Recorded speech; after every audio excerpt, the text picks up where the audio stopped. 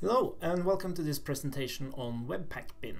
Uh, the service is currently in beta, but I want to show you uh, all the cool features. Um, so Webpack Bin is a code sharing tool, uh, but it differs from the current generation of, of these kinds of tools because it runs on Webpack.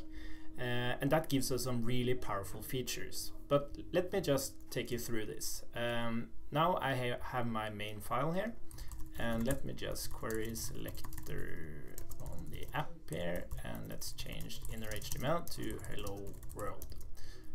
And when I save this now, uh, we see that it's displayed on in the preview window here on the right side. Uh, but since we're running on Webpack, we can actually add more files here. So let me add a new file called test.js and we are going to log something. But we're not going to log to the console, we are going to log to Webpack bin uh, console. Uh, so let me log hello world here instead. And what we have to do is of course require this file. So I just require it as I would do normally. And when I save this now, I can click on the log and it states hello world. Uh, but I can also mm, log out objects and whatever here. So when I log this now, we can see that it's an object. Uh, but uh, we can do a lot more than this. Uh, if I click this button up here called uh, configure, uh, we have access to all npm packages. For example, if I search for React, we get React and React DOM, we get React DOM.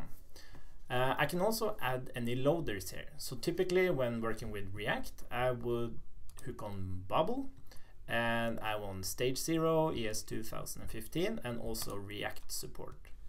Uh, and that means when I run this uh, bin now, it actually runs with React and all, all, all, the loaders. But instead of me writing lots of code now, now let me show you another feature. Uh, so on boiler boilerplates, uh, there are some preset uh, packages and code. And this will expand uh, as the service uh, moves on because it's a really good way to go into a tool like React and then in the documentation they can link to Webpack bin and when I hit React here now you see that it just instantly appears. And that is because there are some smart caching solutions in the background uh, running here. Uh, but I can also check out another boilerplate. Maybe I want to check some Redux.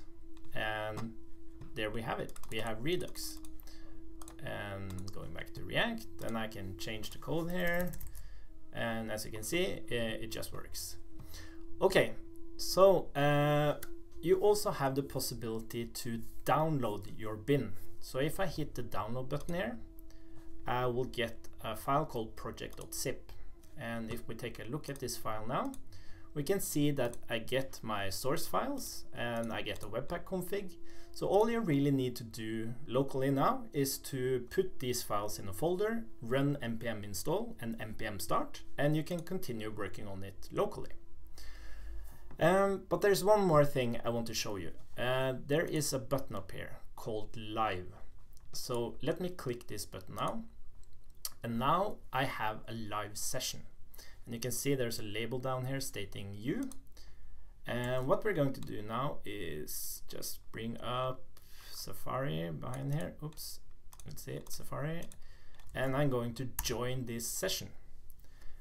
Uh, and what happens now is that if we just lower this a little bit, is that when I change code here now, uh, let me change hello world again, hello on the other side, and I save this, and you see everything updates below here.